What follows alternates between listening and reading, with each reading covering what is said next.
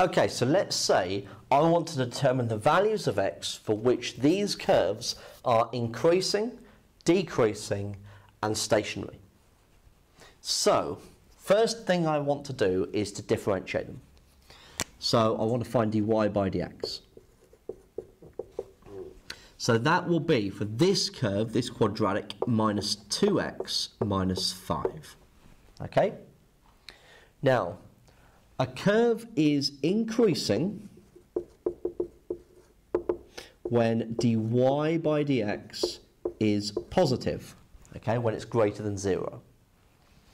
So I want to solve the inequality minus 2x minus 5 is greater than 0.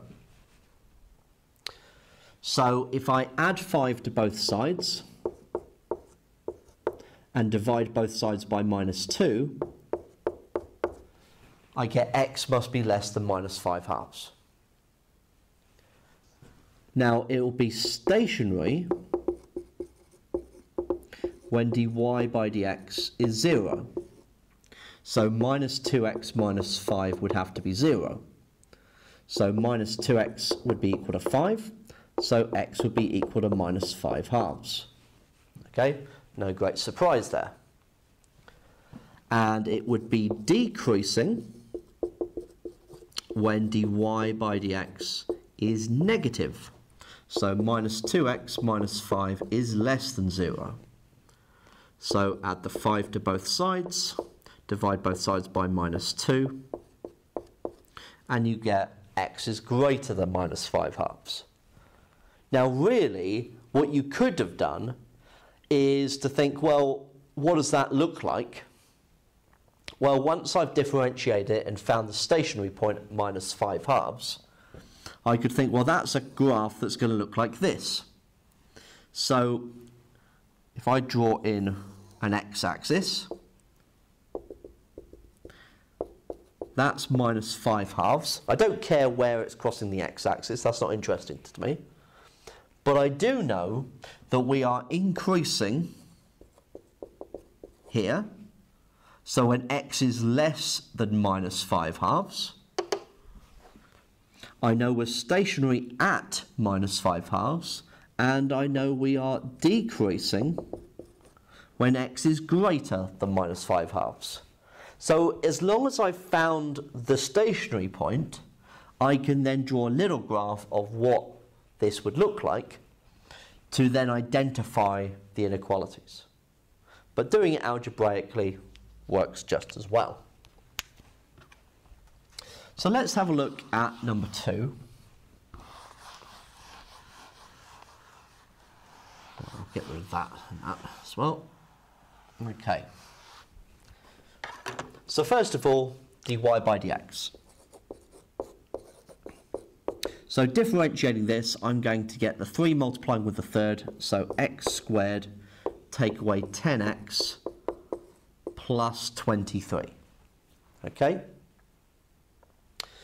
Now, if I use the same technique as I did before, okay, um, with number 1, then what I'm looking for is if it's increasing, I want to solve the inequality dy by dx is greater than 0.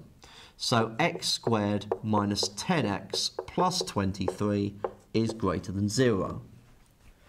But I'm going to need to figure out where that curve crosses the x-axis. So really, I want to solve the stationary points bit first. Okay, so stationary when dy by dx is equal to 0. So x squared minus 10x plus 23 is equal to 0. Now that doesn't look like it's going to uh, factorise. So if we use the quadratic solver on our calculator, we can get 1 minus 10, 23. So 5 plus or minus uh, root 2. Okay, they're the solutions to that quadratic. So, to solve that, I'd be looking at where this parabola is above the x-axis. So we'd have 5 minus root 2 here, 5 plus root 2 here. So it's increasing when we're above the x-axis, so in this region and that region. So x is less than 5 minus root 2, and x is greater than 5 plus root 2. So we'd be decreasing when dy by dx is less than 0, so solving the inequality x squared minus 10x plus 23 is less than 0. So in other words, where is the parabola now? Below the x-axis. So it's below it there. Okay, so we'd be between these two values.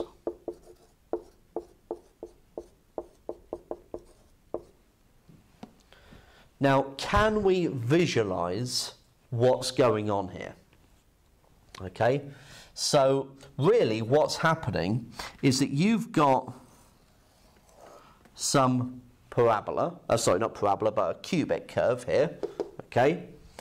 Uh, it's got its two stationary points. Now, I don't know kind of where it sits on the x-axis. I don't care, okay, where it's crossing the x-axis. Don't care about that. That point is representing your 5 minus root 2. That point is representing your 5 plus root 2. There's your stationary points. So it's increasing when x is less than 5 minus root 2. And it's increasing here when x is greater than 5 plus root 2 is decreasing between those two values, between 5 minus root 2 and 5 plus root 2. So the graph matches the inequalities that we found. Okay? So if you know what the graph looks like, you can use that to inform you of the inequalities. Okay? If it was a function that we didn't know what it looked like, that would be a little bit more problematic. Okay? But at this level, at this stage, we shouldn't have to worry too much about what the graph looks like uh, beyond uh, a parabola and a cubic. It's more likely going to be a cubic, okay? But you could extend it further once you are more familiar with other types of graph.